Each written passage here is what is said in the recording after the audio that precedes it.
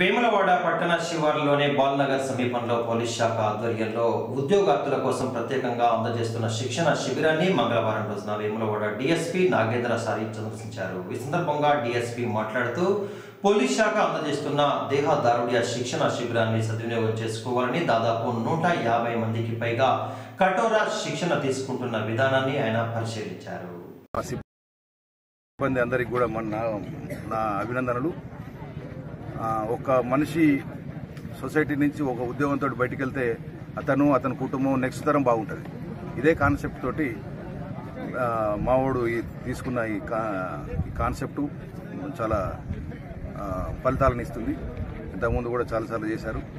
Police తరఫున ఏదైనా చేయడానికి కూడా ఉత్సాహ ఉత్సాహం ఉన్నది.